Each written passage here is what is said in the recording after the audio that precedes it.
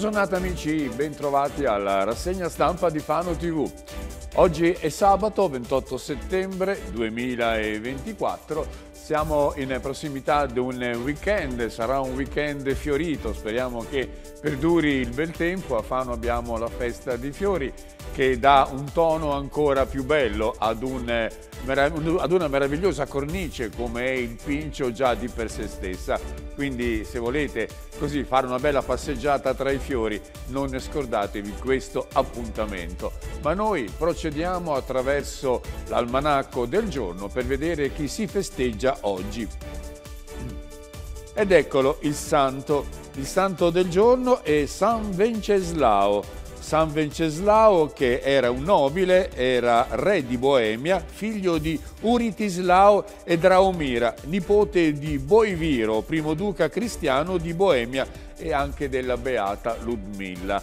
Beh, siamo nel cuore dell'Europa, siamo intorno all'anno 1000 e il cristianesimo aveva già così pervaso tutte queste comunità fino alla santificazione e quindi San Venceslao è un portabandiera di questa diffusione del cristianesimo. Vediamo ora le previsioni del tempo.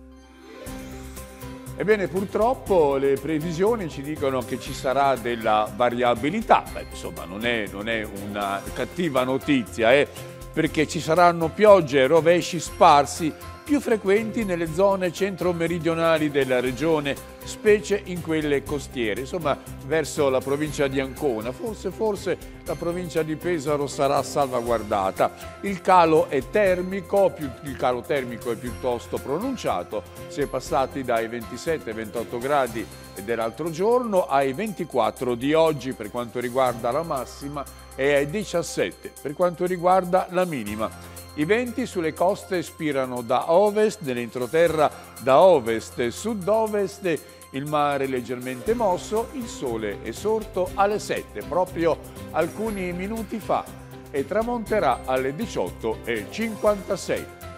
E allora, ci ho detto, possiamo aprire i giornali. A partire dalla notizia, quella insomma, che è più sensibile, perché ieri si sono celebrati i funerali del piccolo Tommaso. Ecco l'apertura sul resto del Carlino. Fano ha detto addio al giovane Tommaso, Tommaso Bisciari, 14 anni, studente dell'Olivetti. Purtroppo è deceduto a causa di un malore improvviso mentre si trovava nell'istituto, mentre si trovava a scuola. Immaginatevi, ve l'ho detto anche nei giorni scorsi, la commozione, il dolore dei compagni di scuola che anche ieri nel corso del rito funebre hanno voluto testimoniare la loro sensibilità eh, loro, oh, la loro amicizia nei confronti di questo ragazzino fragile che purtroppo è deceduto. Ieri i funerali del quattordicenne morto a scuola per una malattia cardiaca, il ricordo della madre col suo sorriso ci faceva sentire meglio. Ebbene, era lui, avrebbe, bisogno, avrebbe avuto bisogno lui di tutte le cure, come poi ha avuto ovviamente eh, necessarie, ma era lui poi che dava conforto agli altri, quindi veramente un ragazzo eccezionale. E la testimonianza della mamma è stata quella che ha permeato la funzione eh, religiosa insieme all'omelia del vescovo Andrea Andreozzi tanta, tanta la gente che ha frequentato la chiesa, tanto che non c'era più posto perché voleva entrare un po' in ritardo e quindi c'è stata grande adesione di tutta la città. Tommaso voleva essere solo normale, forse Dio gli ha risparmiato il dolore. Sono delle eh, parole che sono state così catturate, strapolate dagli interventi che si sono susseguiti durante la messa la testimonianza in chiesa della mamma del quattordicenne morto per una cardiopatia folla per l'addio. E questa è purtroppo l'apertura uh, di questa pagina oggi. E Tommaso Bisciari con il funerale eh, beh, forse si conclude eh, giornalisticamente questa vicenda, ma il ricordo di questo ragazzo rimarrà per sempre in, tutti coloro che l'hanno conosciuto, non solo nei genitori ovviamente, nei parenti, ma anche negli amici e soprattutto nei compagni di scuola. Vediamo l'altra apertura sul Corriere Adriatico si parla della dengue, questa infezione virale che continua, continua a diffondersi nel nostro territorio.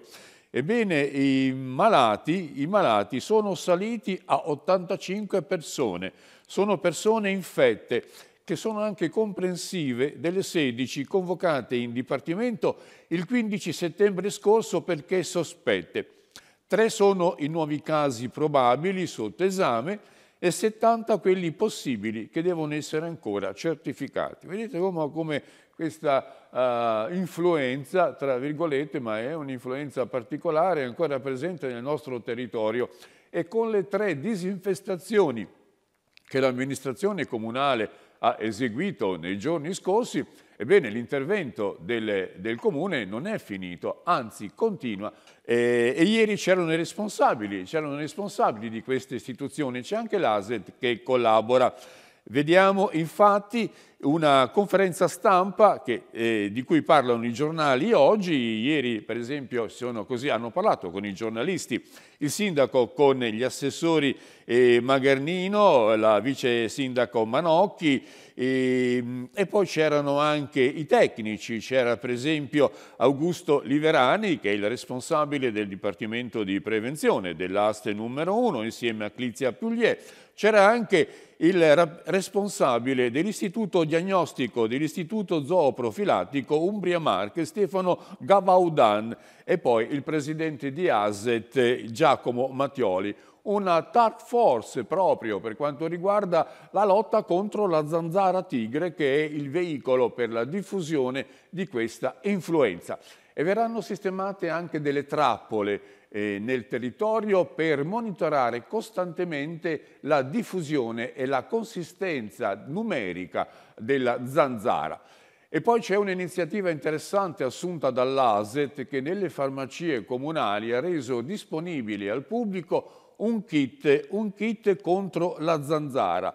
Si tratta di mh, mm, pasticche che possono essere utilizzate nei giardini pubblici, nei giardini privati, eh, sotto eh, i sottovasi, per esempio dove, dove c'è dell'acqua, nelle pozzanghere, e poi abbiamo anche degli spray repellenti, il disinfettante post punture, tutto quanto da vendersi al prezzo calmierato di 15 euro al posto di 25. Intanto, dicevo, la lotta continua e soprattutto per il prossimo anno si è deciso di cominciare le disinfestazioni nel mese di marzo invece di ritardarle come è stato fatto quest'anno. Dengue, le infezioni sono salite a 85, i cittadini devono fare la loro parte. Questo è l'invito del sindaco eh, Luca Serfilippi eh, durante la conferenza stampa di ieri. Vediamo ancora il resto del Carlino. Vediamo un attimo come riporta la notizia. Ecco il kit antidengue, lunedì in farmacia. Costerà 15 euro e conterrà larvicidi, repellente e disinfettante. Intanto salgono 85 i casi, ma 16 risalgono al 15 settembre, dice Liverani. Abbiamo parlato, insomma, Comunque occorre tenere alta l'attenzione in merito a questa piccola epidemia che si sta diffondendo, però prima che diventi preoccupante occorre prendere i dovuti provvedimenti. Vediamo ora le altre notizie, restiamo un attimo sul resto del Carlino e vediamo come c'è eh, un personaggio fanese che si sta mettendo in luce a livello nazionale e Marco Gradoni. Gradoni è un nome molto, molto noto in città. Ebbene, lui fa parte del team della Americans Cup. Infatti è lui che tramonta, è il timoniere di Luna Rossa dei Giovani. Il comune prepara la festa, Boiani ne racconta gli inizi, è veramente un fenomeno. Un fenomeno che è cresciuto nel, eh, nella nostra città, ha cominciato ad avvicinarsi allo sport tramite eh, il club nautico Ebbene, c'è poi tutto un, un, un, un, ritratto di questo personaggio che in questo momento sta trionfando all'America's Cup. E poi parliamo della festa di fiori, eh, di cui vi ho anticipato oh, un po' eh, la, la coreografia che si sta svolgendo al Pincio. La festa di fiori si apre con multe e autorimosse in via della giustizia. L'abbiamo visto come ci sono stati dei problemi per gli autisti del AMI eh, che non hanno trovato posto, il posto a loro riservato appunto dal trasferimento della sosta dal Pincio, che deve essere eh, così lasciato libero agli stand dei florovivaistici, invece nel parcheggio del cimitero, nel parcheggio di via Giustizia. I veicoli erano parcheggiati nel, eh, nei pressi del cimitero e ostacolavano il passaggio dei bus di linea dirottati nei giorni dell'evento. E poi ancora, eh, adesso passiamo, prima di andare alle altre località, ritorniamo nel Corriere Adriatico per vedere questo articolo che riguarda un po' eh, la presenza dei lupi nel nostro territorio. Fili elettrici per allontanare i lupi, un esemplare investito e ucciso. Ebbene, c'è stato un vertice in regione sulle misure per evitare le incursioni notturne, misure dissuasive per evitare che i lupi entrino nell'area urbana di Fano. Questo è uno dei provvedimenti messi a fuoco durante la recente riunione che si è svolta in Ancona, a cui hanno partecipato anche i rappresentanti del Centro per il recupero di animali selvatici, il CRAS, e anche l'amministrazione comunale, il CRAS, lo sappiamo, ha sede ad Urbino. Si tratterebbe di installare fili elettrici che rilasciano una scossa soltanto fastidiosa, quindi non è che poi crea molti molti danni agli animali che, sono, che vengono a contatto con questi fili, una scossa soltanto fastidiosa lungo corridoi ecologici come campo d'aviazione, canale Albani o la ferrovia dismessa, la linea ferroviaria eh, Fano-Urbino che costituisce un veicolo protetto per quanto riguarda eh, le, lo, diciamo così, il passaggio di animali che giungono dalle zone più isolate poi nelle zone dice, abitate.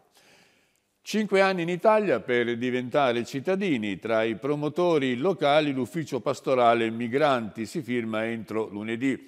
Questo è un articolo che riguarda il referendum che è in atto, un referendum che riduce i tempi per diventare cittadini italiani e a favore della riduzione si espone l'ufficio pastorale migranti, che è quello insomma, che si dedica in modo particolare all'accoglienza degli extracomunitari che vogliono costruirsi un futuro nella nostra città.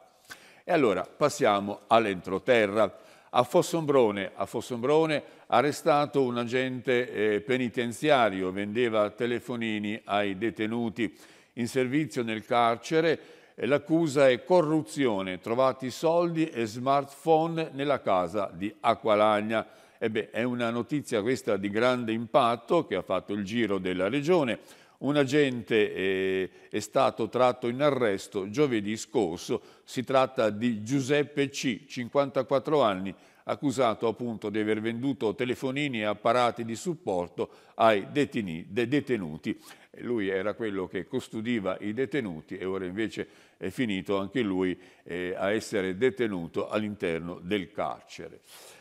A Pergola, a Pergola, si parla di tartufo, si parla di bronzi, che sono le due maggiori attrattive di questa cittadina che è una perla eh, a ridosso dei contrafforti dell'Appennino.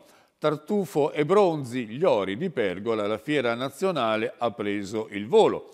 All'aeroporto di Falconara ha presentato l'evento organizzato nelle prime tre domeniche di ottobre ci siamo, ci siamo molto molto vicini.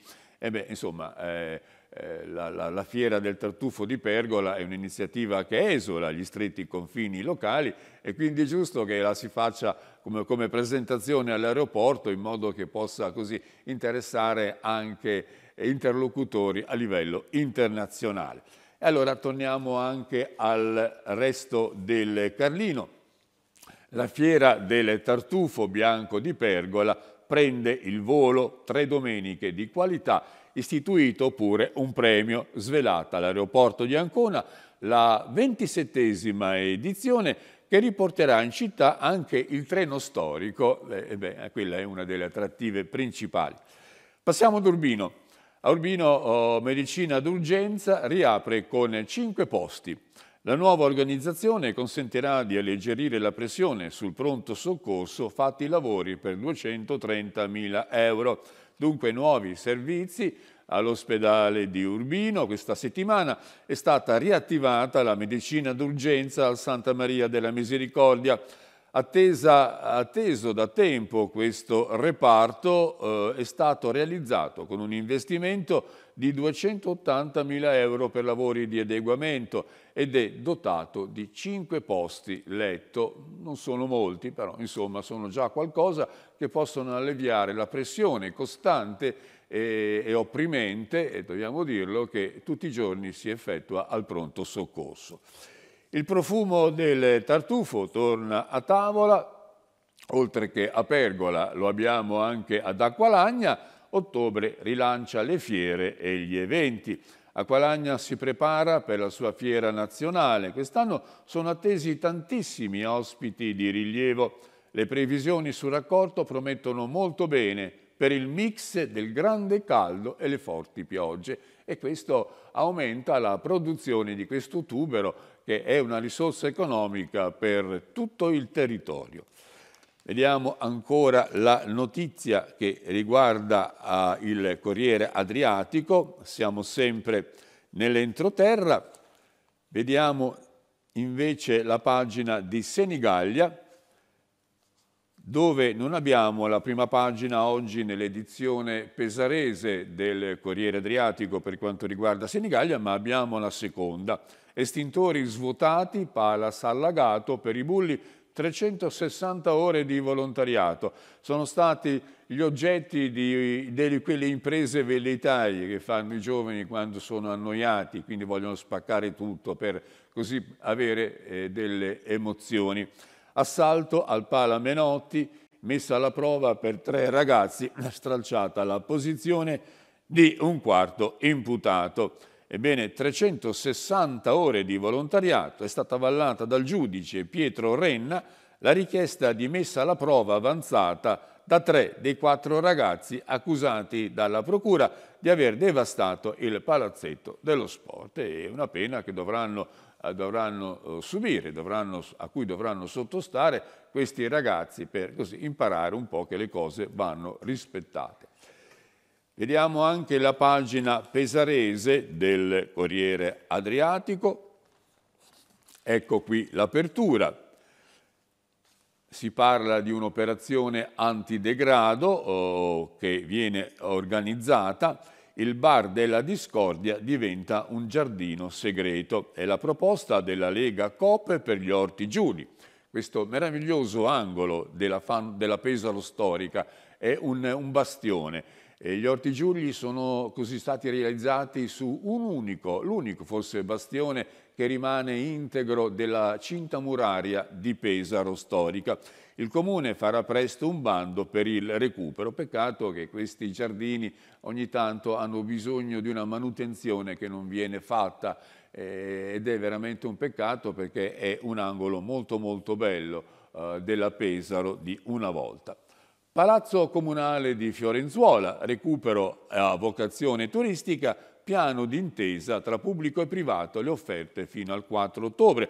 Anche a Fiorenzuola si corre ai ripari per cercare di riqualificare lo storico Palazzo Comunale, quel palazzo che circa nove mesi fa aveva subito l'ultima ferita perdendo la copertura posticcia ma almeno in grado di ripararlo dalle intemperie. Però, eh, anche se era brutta, insomma, eh, adesso persa quella le intemperie agiscono ancora con più forza, provocando il degrado di questa costruzione. Lancio di uova contro Speranza, tre a processo, c'è anche Carriera, il ristoratore è accusato pure di lesioni e resistenza al pubblico ufficiale. Il dibattimento è stato procrastinato a gennaio. Ebbene il fatto rievoca il lancio di uova contro l'allora ministro Roberto Speranza. Ieri il rinvio a giudizio per tre indagati, il quarto ha oblato, insomma ha pagato la multa. Era il 23 agosto del 2021 quando il ministro della Salute Speranza, vi ricordate era il ministro del Covid, colui che si è trovato nelle condizioni di fronteggiare una emergenza allora inaspettata, allora probabilmente anche molto molto superiore ai mezzi disponibili, Ebbene, è stato contestato a Pesaro. Era venuto per inaugurare la farmacia comunale di via Andrea Costa ed è stato trattato con le uova in faccia. Beh, insomma, un evento certo non qualificabile.